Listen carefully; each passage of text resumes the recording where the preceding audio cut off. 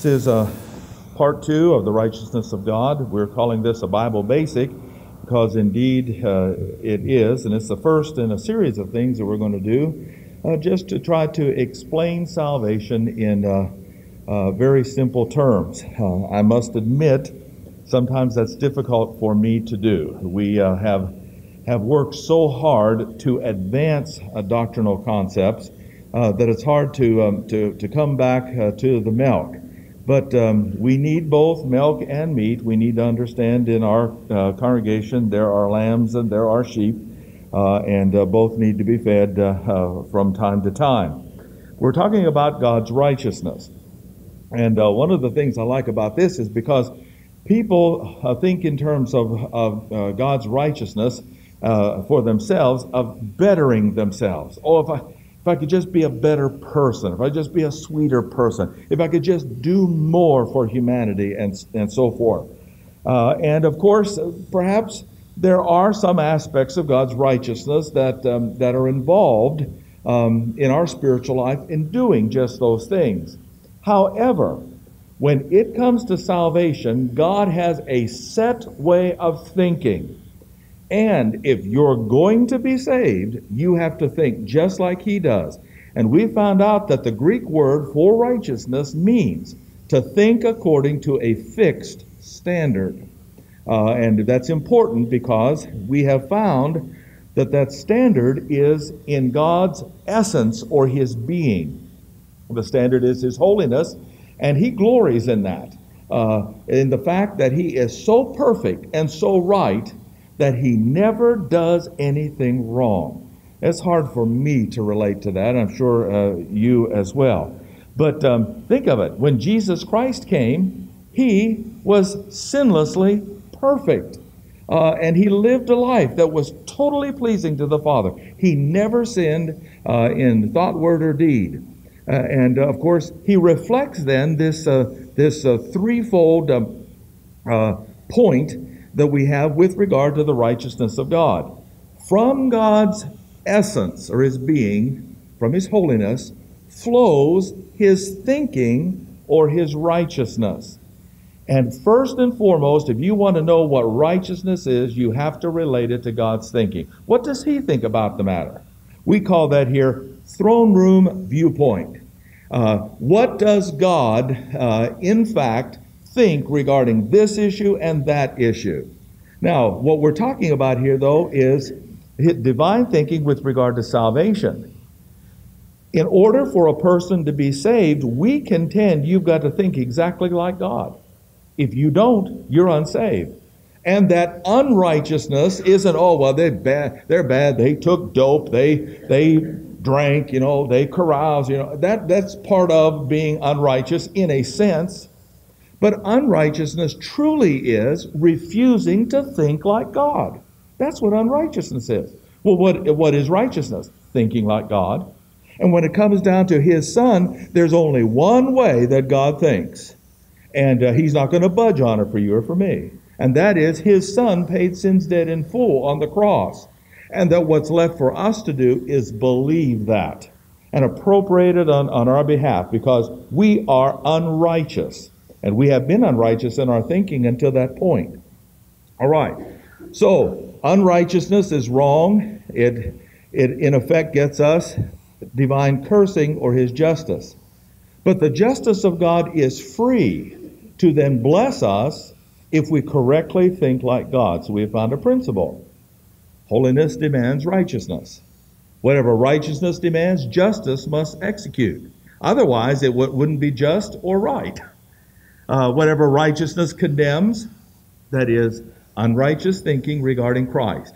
It is Christ plus baptism, Christ plus communion, Christ plus good works, Christ plus confirmation, Christ plus this, Christ plus my good works, and what have you. No, it is Christ alone. That is God's thinking. And if you begin adding or subtracting from the crosswork, you are not saved. And in fact, you can stamp it right across your forehead unrighteous, I think differently than God. And you are unsaved. I grant, I'll tell you the truth. Look you're right in the eye and tell you, you're unsaved. Why? Because you don't think like God. And so, therefore, justice wanting to do what's right, reflecting God's righteousness, must curse you. Uh, you are called lost and undone. You're called a, a heathen. You're called an unbeliever. Uh, you're called worse things than that, but for the dignity of the clergy, I'll not reflect those in my, my study. Fear the tape and somebody will sue me. He called me this. Well, it's true. And I'm that too. But there comes a, there came a time in my life when somebody told me I was a sinner, couldn't save myself, and that I needed to simply believe on Christ, and I did that. And that got for me the righteousness of God imputed to my uh, uh, account. Do you know I'm righteous? Why? Because I did something good? No, because I thought like God. Now that's that's good in of itself, but it's non-meritorious. It wasn't something that for me made God say, "Well, now look at that guy. He's really a good guy." Uh-uh. He took God looked at this guy took what Christ did for him on the cross. So, Righteousness commends, uh, whatever it commends, justice will bless by way of salvation. All right, then we looked at, and this is where we left off, that there is a standard. And that standard is from zero to 100%. When it comes to God's righteousness and man's righteousness, how much righteousness does man have in and of himself apart from God? Do you want to go through all of the zip, nada? uh, I mean, we have a long list of uh, of uh, night. Uh, uh, I think that's uh, well. Anyway, all of those things where it reflects none. How much righteousness does God have without man? One hundred percent. And there's the conflict. He is righteous in his thinking. We are unrighteous in our thinking. And so, in order to have a relationship, we must think like him. And that, that's, that's bottom line. But now, here's where we left off. The problem is that people think that they have got to work for it. We're in Romans chapter 9 and verse number 30. It says the Gentiles that followed not after righteousness, self-righteousness you could, you could put there, have attained to divine righteousness, even the righteousness which is of faith. Israel followed after the law of self-righteousness, but did not attain to the law of divine righteousness. Why? Because they sought it not by faith, but as it were the works of the law. And Paul calls this the law of righteousness. Self righteousness, man's righteousness that, that uh, is um, is acquired by his good deeds, by his works, is totally eliminated from this picture. Uh, they were self-righteous to the core. They did every, their whole nation, it was a theocracy. From the political aspect to the spiritual aspect, everything was dictated by God. But one thing they left out, that salvation is from faith to faith, uh, uh the just shall live by faith. And they did not believe in the message God gave regarding his son. Therefore, the law of righteousness takes over and voids all of man's self righteous efforts for salvation. It's no good, it does not work. Uh, come with me to chapter 10, verse 3. Here's why Israel failed in their works. Here's why you should not fail. Here's why you should not leave this building this morning unsaved or unrighteous. They being ignorant of God's righteousness, and willfully so. God told them and told them, and they rejected it they went about to establish their own righteousness. And that word establish there means, histemi in the Greek, means to set against a standard. That's why we have this standard here. To set against the standard. So here's a man who thinks, oh, he's so good. And he comes up to this standard, and God says, all right, uh, take, take your thumb off the scale. you know, uh, don't, don't cheat. How much righteousness do you have? And we're all amazed. Why? Because we don't have any. And Israel is going to be amazed because they, they obeyed the word of God as much as they could in law keeping for their salvation, but they didn't have faith. And the one way to get divine righteousness, the only way, is faith. And faith means embracing the thinking of God regarding his Son, Jesus Christ. They went about to establish their own righteousness. And here's their second error they have not submitted themselves to the righteousness of God. That word hupotasso means to be obedient to a requirement of an authority. Now, you're in the army, if you're a coach, if you're a student in a classroom, uh, there are power people, the, the teacher, the sergeant, uh, um, and so forth. And do you know in order to get along with your teacher or your sergeant or your parents and so forth, if they are right and legitimate, do you know to get along with these people, you know what you have to do? Think like them. That's right. You have to think like them. You, you know, uh, you have no problem with them if you just think like them.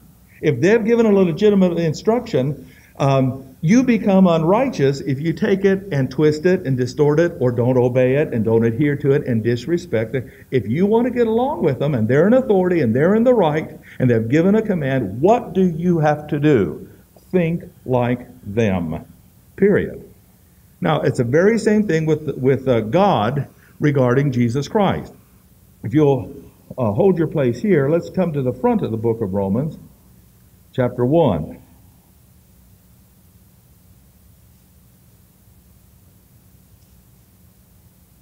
Faith is an act of obedience. And it's called the law of faith. And we'll see this in a minute. Verse number 5. By whom, says Paul, we have received grace and apostleship for obedience to the faith among all nations. You see, God has said something specifically regarding His Son in this dispensation. That's what you have to believe to be saved. It's incorporated in what's called the mystery doctrine that was given uh, to Paul. Uh, there is prophecy pertaining to Israel, there's mystery pertaining to this dispensation and the church. But incorporated in that mystery was faith alone in Christ alone by grace alone for our salvation. And so that's what you obey today for, for um, eternal life. Holding your place again in Romans chapter 10, go back to chapter 16.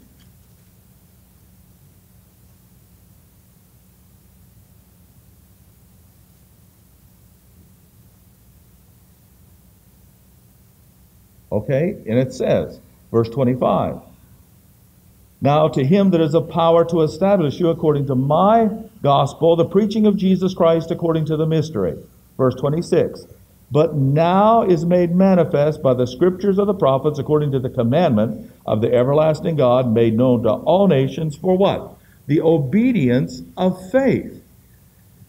Uh, not works, uh, not a little bit of works, a little bit of faith, not half works and half faith, what have you. Any type of admixture negates either one of them. It either has to be faith or works. It cannot be both. And so, therefore, uh, here is what we obey for salvation believe in Christ and we're saved. Come back to chapter 10 again in Romans. The last part of verse 3. The reason they failed is they were willingly ignorant of God's righteousness and went about to establish their own. Set it against a standard, and they came up short. They have no righteousness. They didn't submit themselves to the righteousness of God. They wouldn't obey what God said. They wouldn't think like Him. For, says the Apostle Paul, Christ is the end of the law. It's no more condemnation. The law cannot send you to hell rightly. For Christ is the end of the law for what? Righteousness to everyone that believes. And uh, this is what he is going to call the law of faith as we move back in Romans to chapter 3.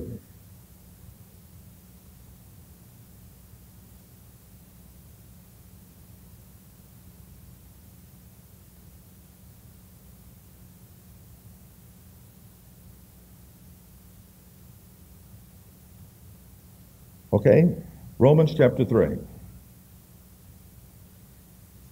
And uh, we'll look at, at verse number, where am I here? Verse number 27. Where is boasting then? It is excluded. By what law? Of works? No, if you work for it, you can boast about it. Well, Lord, look how many points I earned. Uh, look how many badges uh, I have. I know I, I went to church uh, one time when I was uh, little, and they gave badges, you know, and so forth. And I had them at least the first few years down to my toes because I was only that high.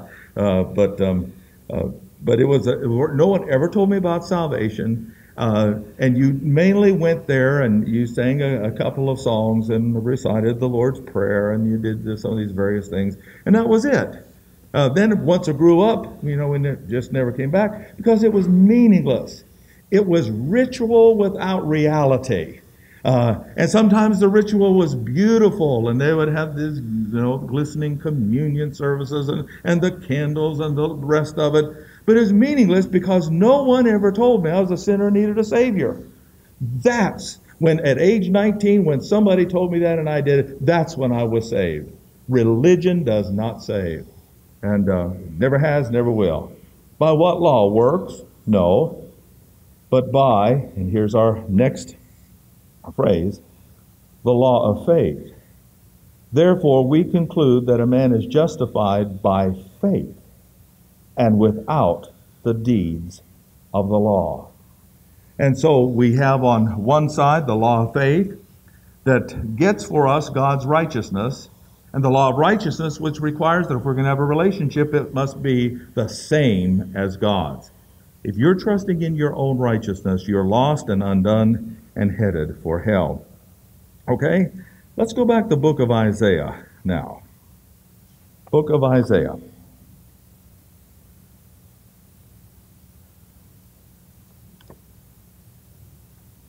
Chapter 64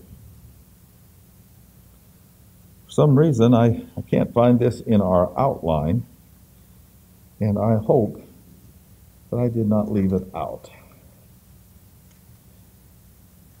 Isaiah chapter 64 and verse number 6. I can't find it here in our outline, but it is a, a key, key verse. Oh, well. Must have been one of them their senior moments. Really, again, I say it's not a senior moment. It's that it's that I'm no, I'm I'm doing too much. Uh, I'm gonna have to do something here by way of, uh, of, of getting out of some responsibilities. For example, Tuesday and I mean Monday and Tuesday, I'm back up to Bible Doctrines for another board meeting, and I'm going to have to just explain to uh, Brother Lee that it's either going to be our evangelism conference or the board meeting, or uh, I'm not going to be able to attend them all or something like this because it's just, I'm, I'm going thither and yon, to and fro, and uh, I end up not matching my socks and then I get in trouble. So, uh, well, I don't know where the other one went. so you just. Anyway, yeah, Sarah. Verse number six. Now, what I'm, I'm going to do here um, uh, publicly makes me um, somewhat uncomfortable, uh, simply because you don't talk about this openly and the like, especially what I've, I've, I've done here. And uh, by the way, uh, we've got it spelled right on, um, on, the, uh, uh, on the overhead, but of all things to draw attention to on the on the outline i misspelled it. And i don't know why i didn't catch it in spell check. Uh, but um, it has a uh, menstrual has a a u in it. Anyway what I've done is confronted us with something. And the reason that I've done that is not to be undignified, not to be unkind, but to do for us visually what God does in His Word. He confronts us with, with the fact of a menstrual cloth.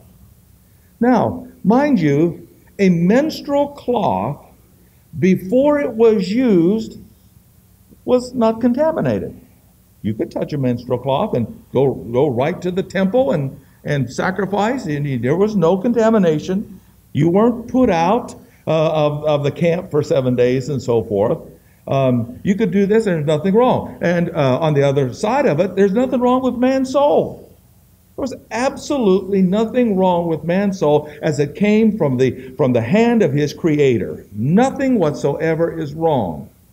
But the reason that I drew this is because there is a physical spiritual analogy here that you need to understand if you're going to understand righteousness and unrighteousness. Nothing wrong with the menstrual cloth, nothing wrong with man's soul. But when the bad blood hits the menstrual cloth, what happens to that cloth?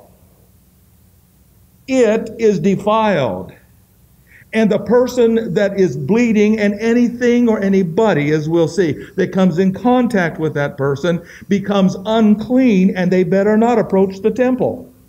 And of course, the blood, the life of the flesh is in the blood. And nothing uh, more in Scripture reflects the curse on mankind and his life than the blood that comes from the menstrual cycle of the woman. You know, the the, the tree of life has 12 manner of fruit, one every month. One every month. You have a discarding of every pollutant that is involved with man in the menstrual cycle of the woman. And that, of course, uh, uh, it uh, makes the, the way for uh, conception later on with, uh, with the egg and, and the like. But the curse on the woman and uh, the menstrual cycle emphasizes um, the pollution that came from Adam and Eve. Now, what did Adam and Eve do that uh, made God liken our righteousness to these menstrual cloths? Look at verse number six. For we are all as an unclean thing. All our righteousnesses are as filthy rags. We do all fade as a leaf. It's an unclean thing refers to our being.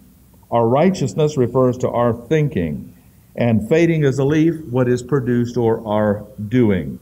But we're going to um, stay here on the middle one. Egg beged, cloth stained with blood from a woman's menstrual cycle. Now, let's turn back from this point to the Leviticus chapter 15. Leviticus chapter 15.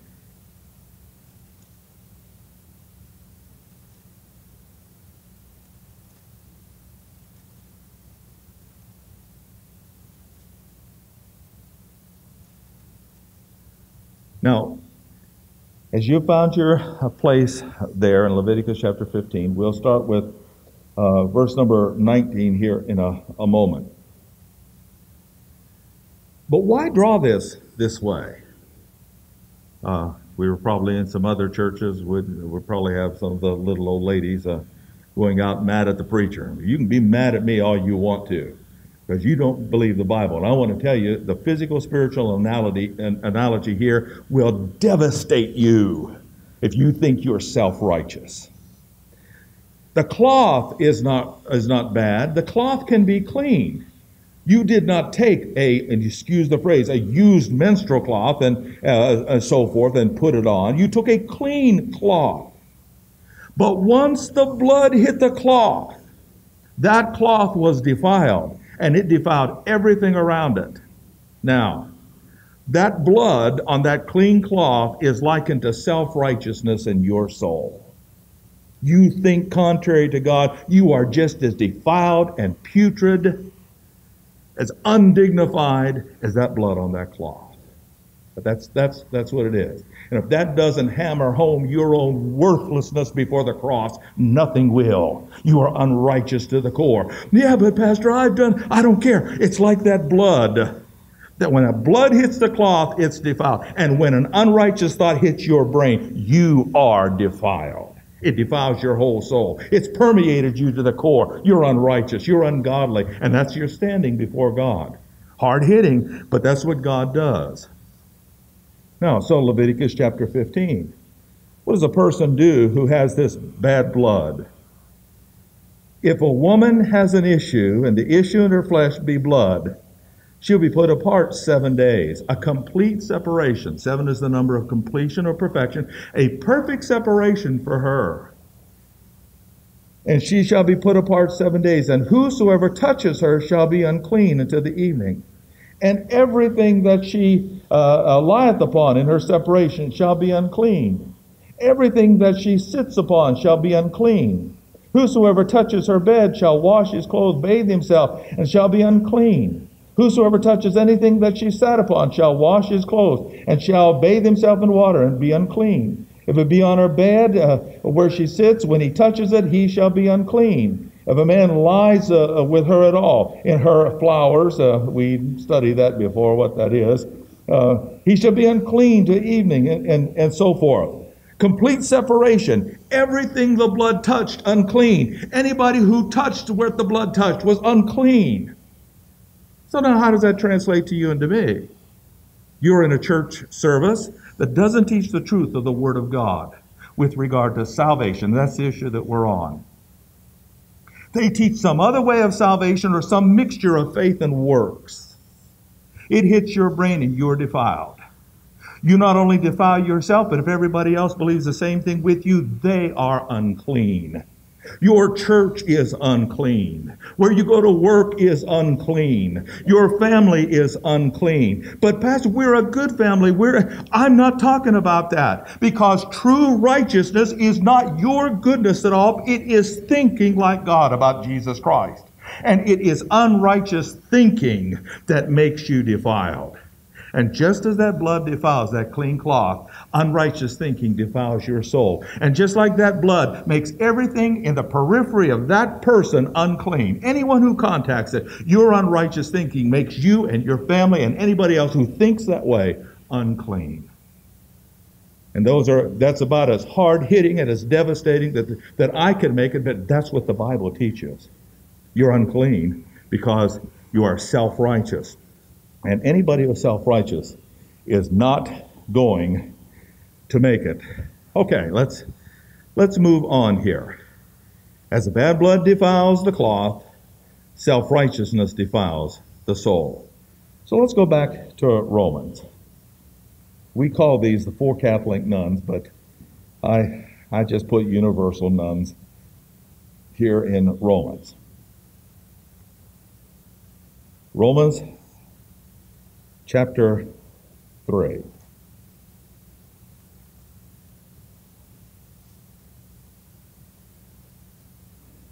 Man is universally condemned. Why? Because of his unrighteousness. Because of his refusal to think like God and his inserting his own thinking into the salvation process. Well, if God is so hotsy totsy good He's so holy. I'll just make myself holy, and he'll have to recognize me. And that is that is not true. Um, uh, the only way that God is going to make you holy and right is by your thinking like Him. That's why Paul, in with in these uh, uh, verses, four times uses the word none. He says, "There is none righteous." No, not one. Verse number 10. We mentioned that all humanity by Paul is lumped into one group without exception. Nobody is righteous. Now, because you are not righteous, it's going to affect something else. If you do not think right, what's the next thing that it affects? Your understanding. Note what he says. Therefore, based on that, there is none that understands. You don't understand the issue.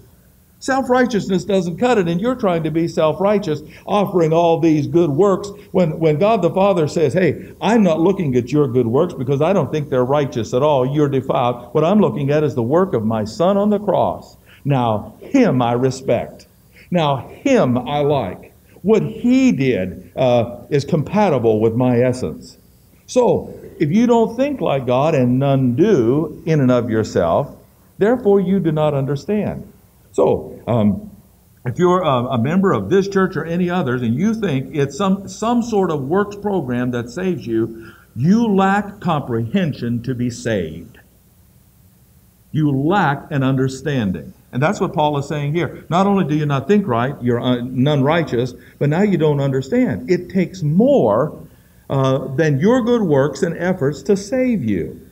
So then he goes over and it says, verse number uh, 11, there is none that seeketh after God or God's way. Hold your place here. Come back with me to the book of Romans 9.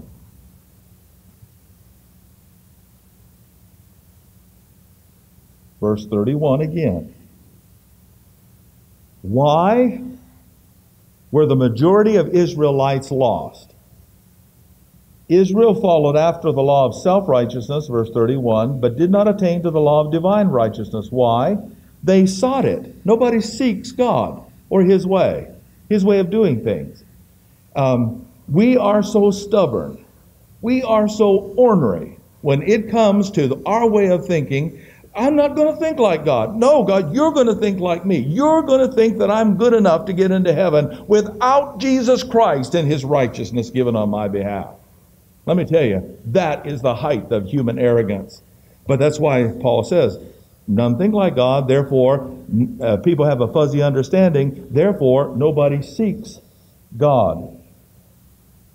They sought it not by faith. Verse 3 of chapter 10 they went about to establish their own righteousness. But, as far as God's concerned, Christ is the end of the law for righteousness to everyone that believes. All right, come back to the last one here. Chapter 3 again in Romans.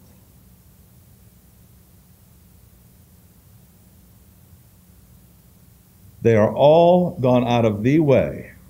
Well, like sheep have gone astray. We've turned everyone to his own way. The way is God's singular way of thinking regarding salvation, and sheep are going their own way because they refuse to think like the shepherd. Last part of verse 12. And I like this because it's a fitting conclusion. There is none that doeth good. See, we've got a bunch of good doers on this planet. Six billion people, many of which are associated with some sort of religion. Bunch of do gooders. And God says, not only none righteous, no, not one, but there's none that, that does good, no, not one. You can't do good as far as God's way of thinking unless you think like God. Since you don't, you don't do good in actuality. But, but, Pastor, you just don't understand how much I've contributed to, to a soup kitchen, to a rescue mission, uh, how good I've been and I've clothed these people, and, and, and I've worked this hard, I've built homes, and I've helped my neighbor, and so forth. Okay, fine, well and good. Do you hear the violins? Uh, because I sure do. You don't get it, do you? Those things are not good as far as God is concerned when it comes to salvation. And you say, well, no, surely there's an exception. And he puts the same three words on the back of the word good here as he did righteous. None righteous, no, not one, no exceptions. None that doeth good, no, not one, no exceptions. The only people who ever do good start off by doing good by thinking like God. That's where it starts to be good. And only when you think like Him are you going to uh, be saved. All right, that brings us then to our uh, last uh, portion here. Turn to Romans chapter 3. Romans chapter 3. Now, here is the, the second typo. Uh, I'm not perfect, but I am a perfectionist. So rather than you're telling me about it, I've already found them. Believe you me, I'll kick myself harder than you could ever kick me. Uh, God's righteousness is twice declared in this portion, and we're going to tie this all together, hopefully. And if there's somebody here that has never trusted Christ, you realize this morning you're unrighteous. That's what unrighteousness is. And hopefully you'll come to know him whom to know aright is life eternal. Now, the typo is in our diagram six. It says actually unto all. It, it should be upon all believers. I don't know how I missed that. But verse number 22, Romans 3 the righteousness of God, which is by faith of Jesus Christ, unto all. Now you'll note, I have in our little box potential. If you're here this morning and you have never believed exactly the way that I have related the scripture demands for you to believe to be saved, it's still potential. As long as there's breath in your lungs and the light bulb's on in your brain, it remains potential. The offer is to you uh, to, to trust Jesus Christ as your Savior. And just as there are no exceptions or exclusions to being righteous and good, there are no exceptions to this. You're not too bad to be saved. Potentially, God offers His righteousness to all. If you're a sinner, you qualify. Uh, and uh, if you are not a sinner, um, you don't understand. Uh, we'll, we'll, need to, we'll need to sit down here and talk just a little bit more. But potentially, it's offered to you, anyone but it is only given to those who believe. Note the last part of the verse. It's offered unto all, but given upon all, them that believe, for there's no difference.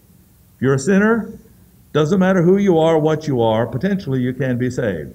If you're a, you're a person who has believed on Christ, doesn't matter who you are or what you are, you will be saved and given the righteousness of God. Now, why is this declared? Verse number 25, the first declaration.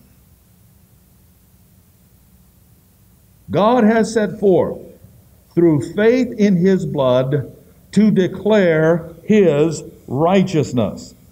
And the word declare there means to manifest something through an act. God is going to manifest his righteousness through an act. And that act is the remission of sins. You might try to make up for it. You might say to God, I'm sorry. You might, you know, give up something for Lent. You might try to do all of these religious works to pay for your sins. And let me tell you, your sacrifices, your sufferings, and your sorrows will never pay for one little bit of your sins. Now, you can apologize to a person and they can forgive you, but don't you ever say, Well, I'm sorry, God my sorrow is going to net your forgiveness. Let me tell you, it's by His stripes we are healed, and only His stripes. It's by His suffering. The Lord hath laid on Him the iniquity of us all. It is not what we, we do to pay for our sins. But hey, there's good news. Jesus Christ already paid for them. And if you'll simply believe, uh, uh, like God, He's declaring His righteousness in an act on your behalf. Your sins are remitted. Now you, you know what remittance is. You've got a bank account. Uh, they're gone. They're, you know, the debt is forgiven of God, not based on what you have done, but what He has done for you. Your sins are gone. They're absolutely forgiven. You don't owe God any sin debt because Jesus Christ, excuse the phrase, picked up the tab. That's one good thing. Uh, you know, when we went up there prayer and planning uh, uh, uh, party, uh, party. Planning, uh, what was it? What do we do? We planned. Well, I was thinking the Bible doctrines paid for a tab, and I said I've known Lee for uh, 25 years now, and I told all the folks there was it was uh, I really felt blessed because this is the third time in all in all those years that he picked up the tab for. you know, he's come through here so so many times that uh, Diane and I uh, took him as a deduction on our taxes. you know, then I'm coming north, then I'm coming south, then I'm coming. Okay, well, anyway, the point here is the remission of sins. Somebody else picked up the tab for you. You try to pick up the tab in this regard, to pay for it yourself, and uh, you're going to end up being punished rather than praised. Last declaration here, verse 26. To declare, I say at this time, his righteousness, that he might be just and the justifier of him that believes on, on Jesus. You see, the only way God can be just and, in effect, keep his integrity is by giving you his righteousness what do, uh, that does not threaten his own holiness. His righteousness comes by one way, And that's simply by faith. We're in chapter 4, we're almost done. Let's use the example of, of Abraham. Now, just as a sidelight here, uh, our friend Bob Hill has written a book, and in it he contends that Old Testament saints had no security. Okay? Now, he makes some, some pretty good points, that Bob's a smart cookie. But um, uh, I wonder. The reason I wonder is, what about Abraham? Is he an Old Testament saint? If he didn't have security, what did he have? If he didn't have righteousness and eternal life, then in what sense was it right and what sense was it eternal? Uh, and so uh, I think to myself along the uh, myself think to myself along these lines. What shall we then say about Abraham, our father, pertaining to the flesh? What did he find? If he were justified by works, he could glory, but not before God. See, that's what works do. God, I'm righteous. God, you must recognize me. But what saith the Scripture? Abraham believed God and was counted unto him for divine righteousness. Now, to him that worketh is the reward reckoned not of grace, but of debt. But to him that works not, but believes on him that justifies the ungodly, his faith is counted for divine righteousness. That's the whole point. If you want to exchange your self righteousness, worthlessness, works program for something that is going to be effective to save you, it's one thing you must do have faith. Believe what God says regarding Christ, and your thinking is now righteous thinking, and that God imputes it to your account. God thinks that way. Guess who else now thinks that way about Jesus Christ? You do. You have run that thought across the gray matter there, and you said, Well, you know, I believe that. And the moment you do, God says, You're a righteous person. So, God has twice declared it because He wants you to be saved.